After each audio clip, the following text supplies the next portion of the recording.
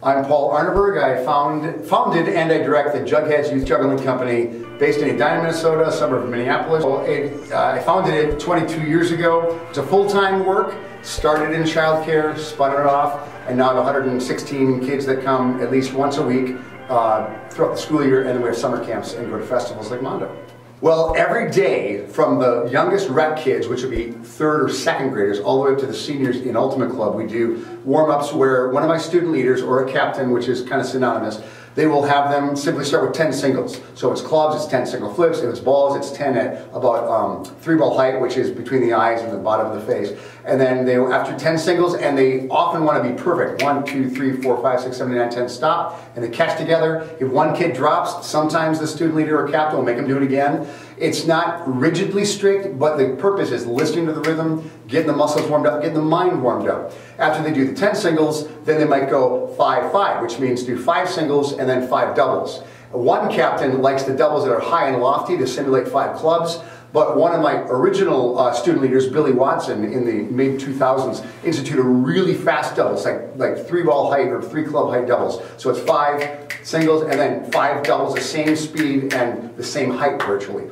After they do some sets of 5-5, they might be, the higher levels might go 5-10 or 550 or 500. We've even gone 5-1000. But that's just more for mm, just epic endurance.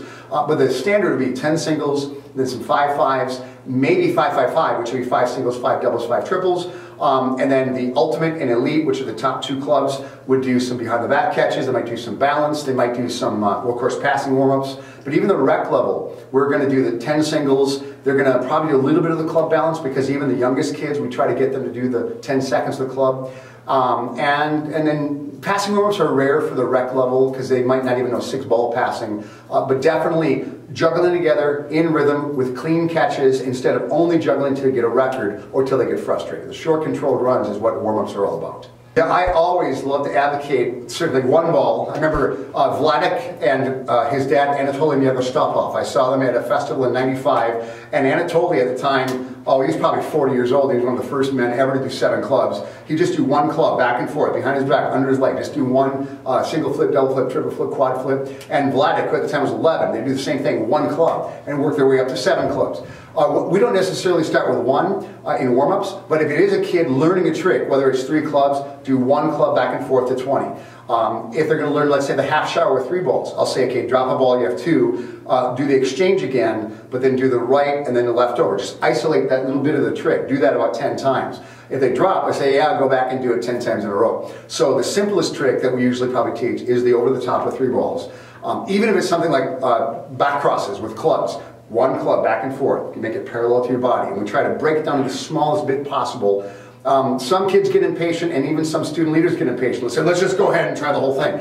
Well, there's room for kind of breaking all the eggs and just letting it fly. But uh, as Stefan Brenzel just told Robin and me yesterday, uh, if he really wants to get better, he will do the drills. If he's just juggling for fun, just go ahead and do it, be sloppy or whatever. But if you want to get it right, you're going to do drills. Just like learning vocabulary for English, learning pronunciation for a foreign language, you have to do the drills. Um, and so whatever given trick it is. Five balls also comes to mind. A lot of the chase for five balls. The way I teach five balls, um, first I have just three balls, do three balls at five ball height, really relaxed. And then I'll say, okay, now just do the flash, three ball flash with a clap to make sure that it's fast enough to get them all. One, two, three, clap.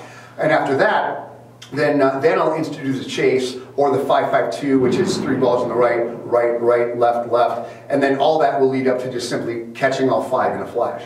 Um, and of course five ball tricks are like three ball tricks. You can isolate it, whether it's the half shower or the multiplex or the under the leg, whatever else. And by the way, under the leg, that's also going to be one uh, at a time under the leg each way.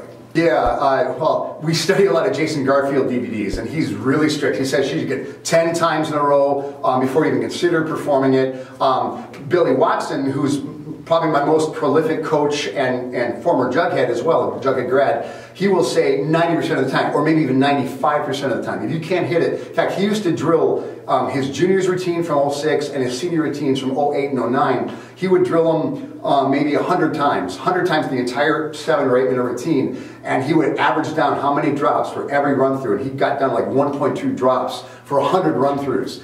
And so that's all the tricks combined. I'm not sure how meticulous he was to get down one trick to get in there, but I'm guessing if he dropped in the one trick even five times out of 100 run throughs, he might either take the trick out or do an easier version of it. Stefan Brentzel, I mentioned already, he got the gold in 2011 with his partner Ben Hesnes in Show Emotion, and they really learned how to gather a trick in. If they were going to try to qualify whatever it was, 11 club passing, and they knew it was going to break it down, they gathered into a flash rather than try to qualify. So within a pattern, it's good to know and out, especially performance.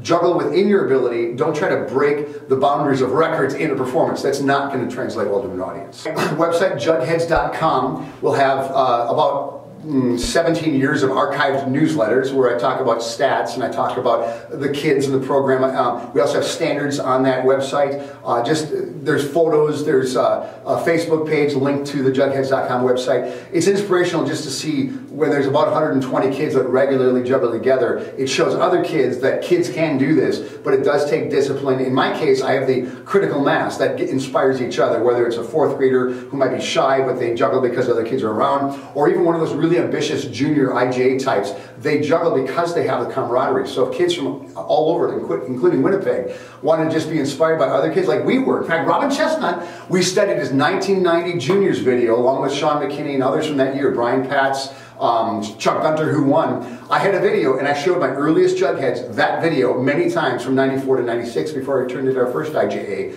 um, in 1996 in Rapid City. So jugheads.com, my email through that is jugpaul, uh, actually it's jugheads at comcast.net. Uh, you could also text me, um, although I would say first try to email me, but if you want to get home in an emergency, then my cell phone is also on the website. Come on in. Jared is a rare older rookie, ninth grade rookie. Uh, he came in really motivated, really eager for both the community of juggling and juggling itself. And as a ninth grader, he already has nearly all, I think all but one of my advanced standards. We have a rec, then advanced, then elite, then the ultimate. And he's already, within one year, almost advanced. So Jared, why don't you talk about your process of learning and uh, what are your favorite aspects of juggling and what is that one standard left for advanced? I want to learn a trick. I'll start at the basics, just one at a time. And then I'll build up to that certain trick. So if I was doing over the top, which I learned months ago, um, I would throw one over the top, one ball at a time. Like I wouldn't have three, I would only have one and then I'd add the other two, and I'd do it that way. That, that's kind of how I learn things. What's the one standard you're lacking for advanced club? 10 with five balls. So qualifying five. Was it 50 with four balls? 50 with four balls. 100 with three balls? Uh, well, that's a rec that's standard. A rec yeah. standard. Uh, 100 with three clubs. Mm -hmm. Three rings to 100 as well. Yes. And a bunch of club passing standards. Yes.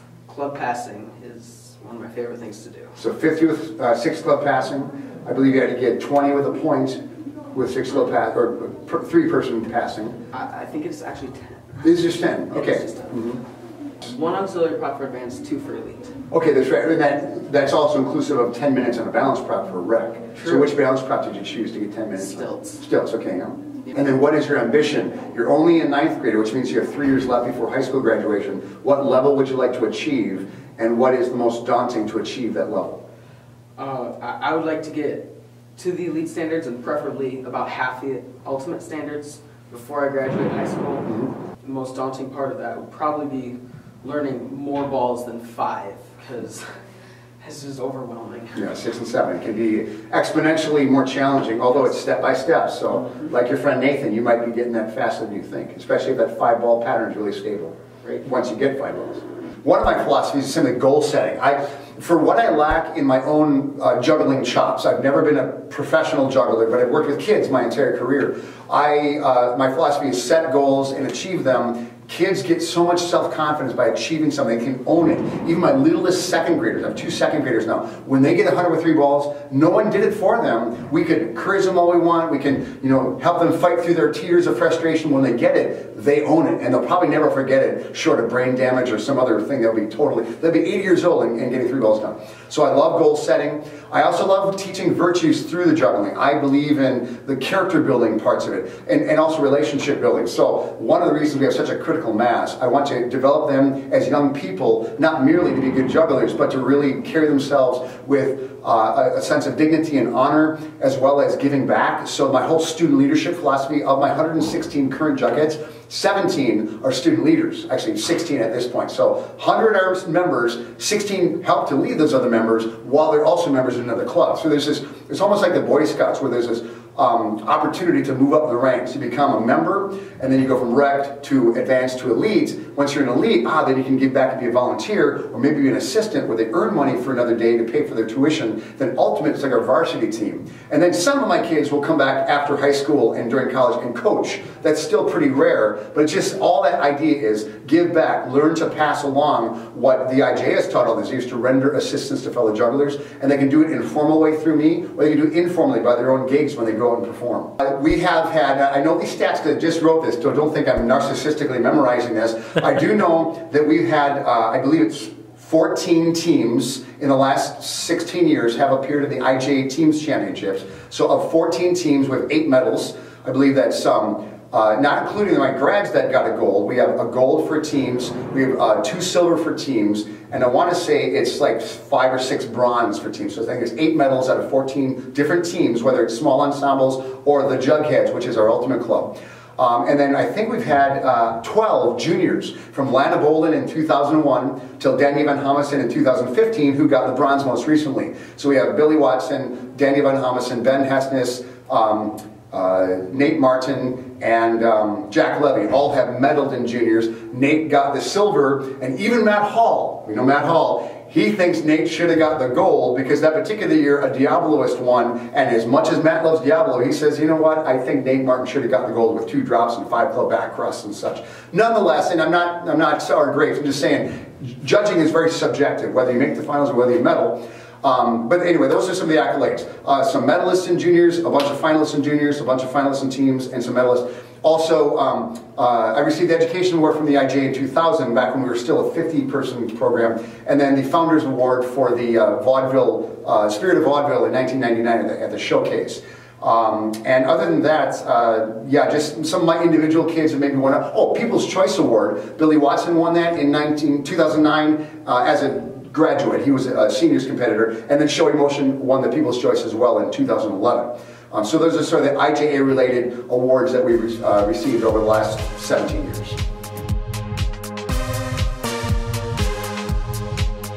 Um, my name is Connie Cotter, and I have been a unicyclist for over 30 years. Competitor, coach, I run organization, got a couple world championship titles to my name, a couple world records.